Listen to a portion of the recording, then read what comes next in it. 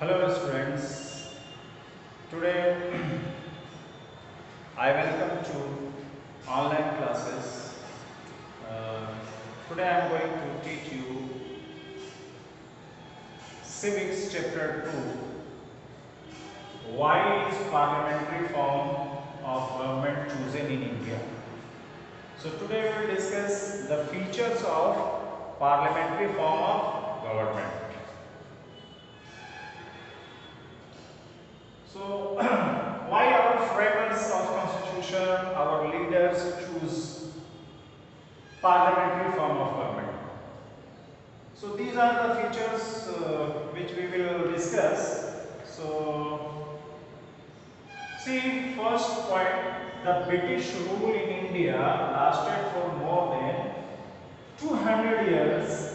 The constitution of makers observed its working and decided to implement it in India. तो जैसा कि आपने पहले भी स्टडी किया है कि ब्रिटिश ब्रिटिशर्स हमारे कंट्री में ऑलमोस्ट 200 इयर्स रूल किए हैं और उनका जो एक्सपीरियंस था उसको एक्स, उस एक्सपीरियंस को देखते हुए उनके रूल करने को एक्सपीरियंस को देखते हुए इंग्लैंड में किस तरह का रूल था उन चीज़ों को ऑब्ज़र्व करने के बाद हमारे फ्रेमर ऑफ़ कॉन्स्टिट्यूशन में पार्लियामेंट्री फॉर्म ऑफ़ गवर्नमेंट को अपनाया। क्योंकि जिस तरह के हमारे, हमारा एक वास्ट कंट्री है, हमारे यहाँ डाइवर्सिटी है, उसके हिसाब से parliamentary form of government better था। So this is the first point and second in this type of government in this type of government means in parliamentary form of government is the part of legislature hence the chances of conflicts are minimum अब parliamentary form of government में क्या होता है कि executive legislature का ही part होता है my first video, I have discussed about, about legislature and executive.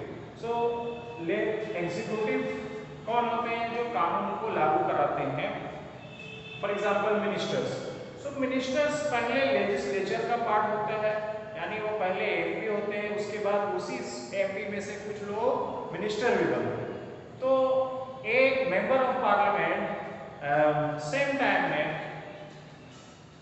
वो member of parliament same time में लेजिस्लेचर का भी पार्ट होता है, यानी लॉ मेकर भी होता है, और उसमें से कुछ लोग मिनिस्टर्स बनाए जाते हैं। तो वो एग्जीक्यूटिव का भी पार्ट होता है तो एग्जीक्यूटिव और लेजिस्लेचर दोनों एक पार्ट है इसकी वजह से दोनों में कॉन्फ्लिक्ट यानी किसी तरह का टकराव होने की चांसेस कम होती है next we will come third point. The head of the state Who is of the state? Here head states, that is in political science. Uh, state means country. So the head of the state, president is the nominal head who possesses no real powers. तो head of state कौन है? President है. or he has no real powers he is nominal head nominal head means नाम मात्र नाम मात्र वो एक उच्च पद पे हैं, लेकिन उनके पास प्रैक्टिकली पावर यूज़ नहीं कर सकते हैं। वो नॉमिनल है। So he possess no real powers so who uses all powers so all the powers and authorities are vested in the hands of the PM prime minister who is the head of the councils of this type of government, means parliamentary form of में all powers किसके पास होता है? Prime minister और उनके councils of ministers के पास होता है. और Prime Ministers prime ministers councils of minister के भी हेड होते हैं यानी प्राइम मिनिस्टर बनने के बाद जो मिनिस्टर्स होते हैं डिफरेंट टाइप्स ऑफ़ मिनिस्टर के नाम आपने सुना होगा HRD ministry railway ministry defence ministers finance ministers home ministers etcetera so इन सब का भी जो बॉस होते हैं, जो इनका भी हेड होते हैं, वो prime ministers so the council of minister is collectively responsible to the legislature अब रियल पावर किसके हाथ में प्राइम मिनिस्टर और उनके काउंसिल ऑफ़ मिनिस्टर के हाथ में और ये लोग जवाबदेह हैं आंसरेबल हैं किसको? लेजिस्लेचर को। यार लेजिस्लेचर मींस पार्लियामेंट पार्लियामेंट में कौन लोग होते हैं? रिप्रेजेंटेटिव ऑफ़ पीपुल्स यानी प्राइम मिनिस्टर और काउंसिल ऑफ़ मिनिस्टर ये लोग अपने हर काम के लिए, अपने हर पॉलिसी के लिए क्या कानून बनाया, कैसे बनाया, इन सब के लिए उनकी जवाबदारी बनती है। इनको जवाब देना पड़ता है लेजिस्लेचर में पार्लियामेंट में। पार्लियामेंट में रिप्रेजेंटेटिव ऑफ़ पीपुल्स होते हैं। यानी ये लेजिस्लेचर को ये लोग आंसरेबल अपने हर काम के लिए आंसरेबल है लेजिस्लेचर को। So there are no chances of the emergence of dictator अब इसीलिए समझने की कोशिश कीजिए कि प्रेसिडेंट के पास रियल पावर क्यों नहीं है। इसलिए कि प्रेसिडेंट के पास अगर रियल पावर हो तो चांसेस हो सकता है कि वो डिक्टेटर बन जाए। प्रेसिडेंट डिक्टेटर ना बन जाए वन मैन रूल ना करने लगे, इसीलिए प्रेसिडेंट को नाम नॉमिनल हेड बनाया गया और रियल हेड प्राइम मिनिस्टर है। और प्राइम मिनिस्टर और उनके काउंसिल्स के जो मेंबर हैं, जो मिनिस्टर्स हैं, उनके हाथ में पूरा पावर होता है। और ये लोग अपने काम के लिए हर रिस्पॉन्सिबल है, जवाब जवाब जवाबदेह हैं किसको? लेजिस्लेचर को, जनता को parliament so and next uh, we will after that we will discuss the president of india. So india is a republican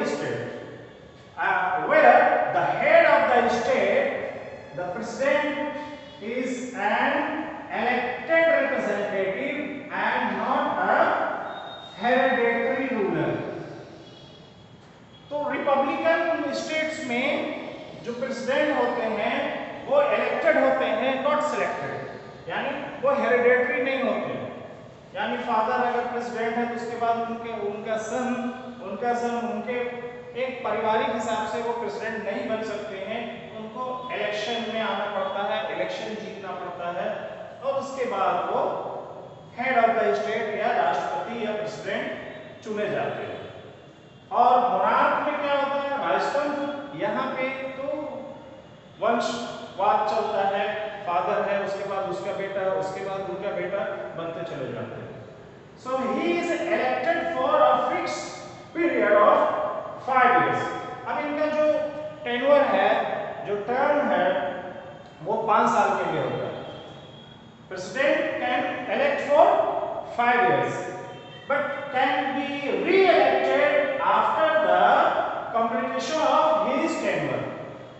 president of India president पाँच साल के लिए चुने जाते हैं, उसके बाद भी री इलेक्ट हो सकते हैं।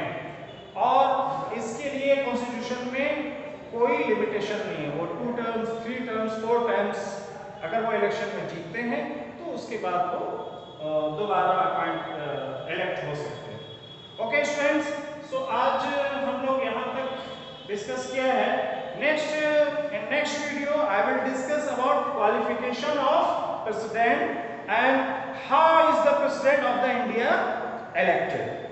Thank you. Thank you for listening. Uh, be happy and spread happiness.